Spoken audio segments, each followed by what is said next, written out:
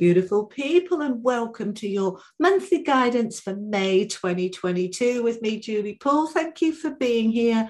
Truly appreciate your time on my channel. Thank you to all my lovely subscribers. And if you're new here, I'm Julie Poole, an intuitive hypnotherapist, author, Reiki master teacher few other bits. The link to me is in the description box below if you want to know more. There's also a link there if you would like to join the paid membership for my channel, which starts at just 99p. Up to you. The information is down below. So this is good for your sun, moon, rising, Venus, and cross watching.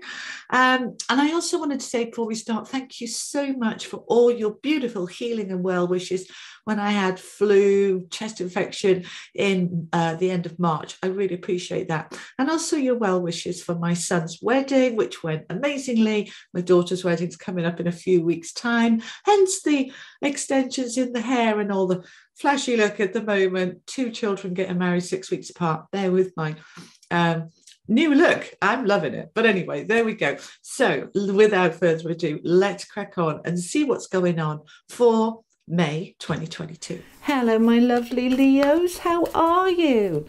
I hope you are very, very well, my lovely people. Okie dokie. So, what have we got going on for you for May? We've got the Hermit popping out there. Uh, we're going to take these oracle cards as general energies. We're going to get some advice from the oracle cards. And we're going to take three cards from that tarot deck for money and career. Okay, something flipped. What have we got? Okay, Four of Swords, Four of Pentacles, Eight of Swords. What are you feeling stuck about, my lovelies? Let's have a look. Let's find out some more. Central Energy Death. We like to see that next to the Eight of Swords because that's transformation.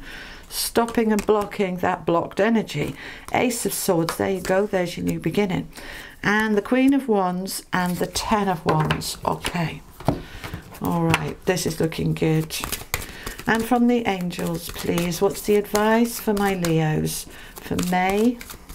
Thank you. We want that one as well.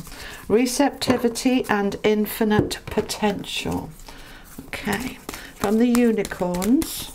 All the cards I use are linked below, by the way, if you're interested.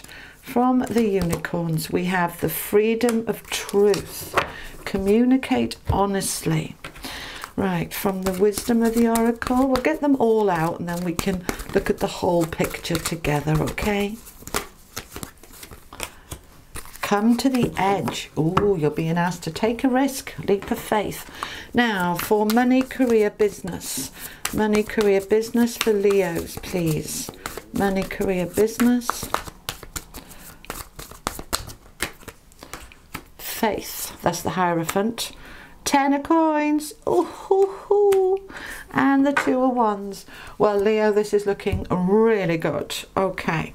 Right, so your central energy, my loves, is the death card. This is transformation, what is ending, to be able to open up to create a new beginning. Now, when we look at the rest of the cards here, right, what is ending? We have been in a stuck energy. We've been carrying too much burden and responsibility. We are wanting in our foundation a new beginning and to release this. And so this is beautiful when we see that death card in the middle because that is opening everything up. And that enables you to come to the edge.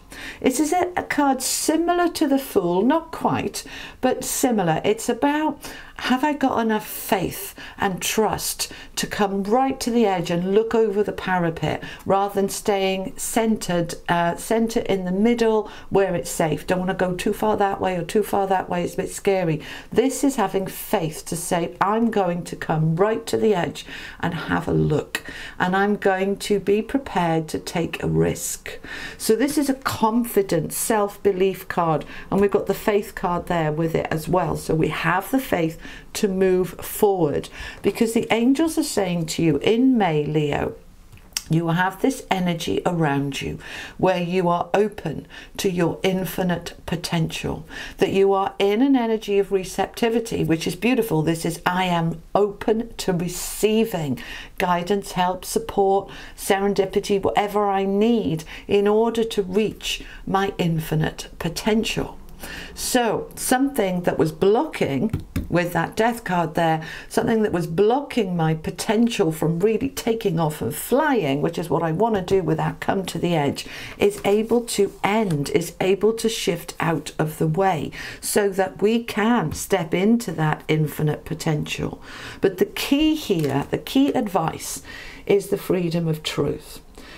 Communicate honestly be who you truly are. Be you. Let other people be them, you be you. Don't hold back, right? Now, that doesn't mean that you can, you know, be nasty to people, but don't hold back. You know, it's okay to speak your truth, but in a loving, respectful way. And if they don't like what they're hearing, that's okay. That's their problem, not yours. You communicate, right? This is also a card of teaching, uh, sharing, sharing news. Like he is, he is teaching those pupils sat in front, but he's also learning from them. Uh, I'm opening up here to the freedom that the truth gives me. The truth will set you free.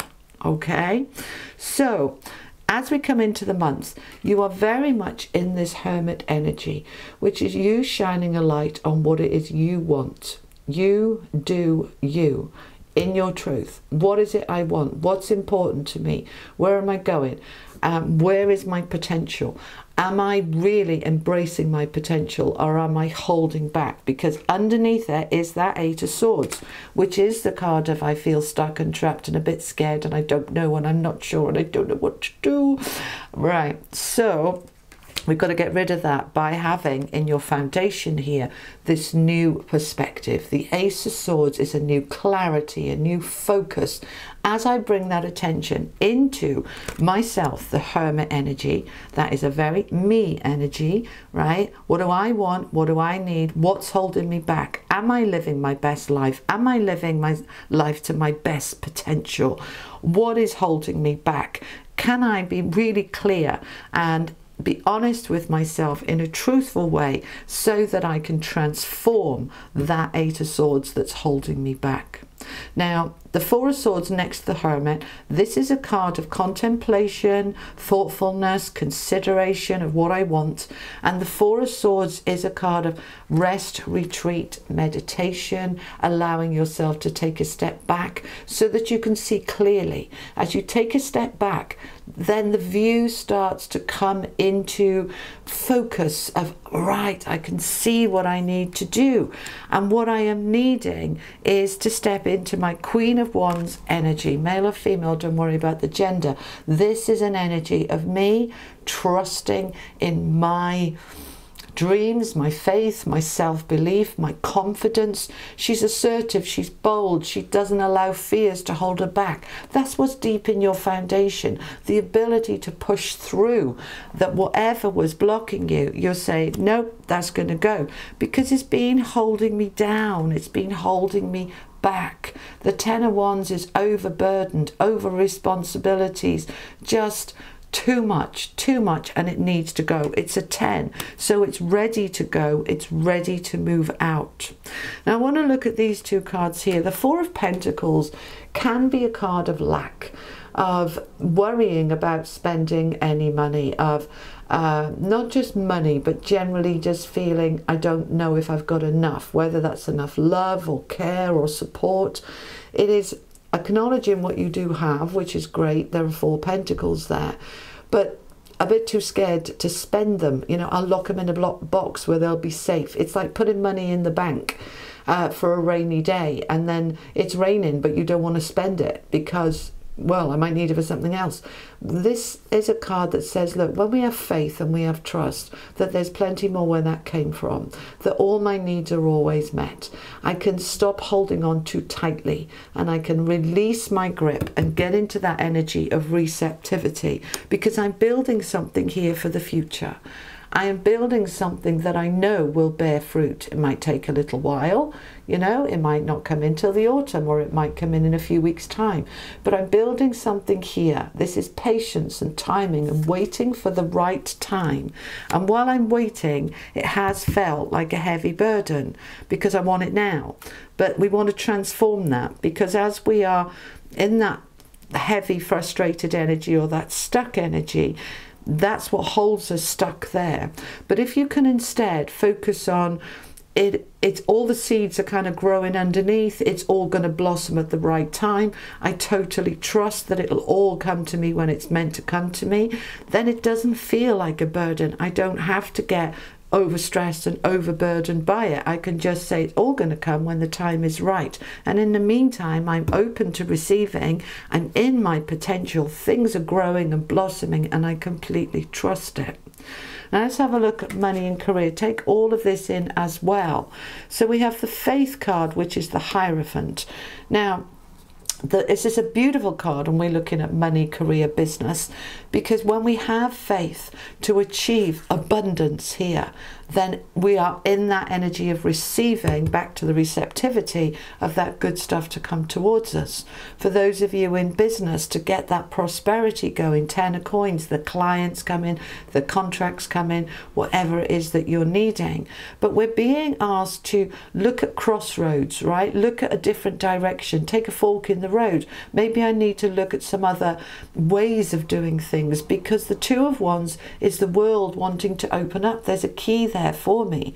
The keys are here to my own success and prosperity. Now, the faith card is also commitment and contracts.